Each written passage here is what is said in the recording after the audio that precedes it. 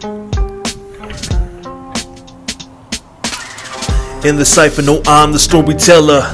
Weaving tales, the mics, my story's elder. Voices of ancestors echo through the ages. Pencil to the pad, guiding me through the pages. Led like arrowheads, piercing through the ignorance. Do it for new gens, stick noggins carry brilliance. Words soar like eagles, generations on their wings. Doing it for people that we honor when we sing.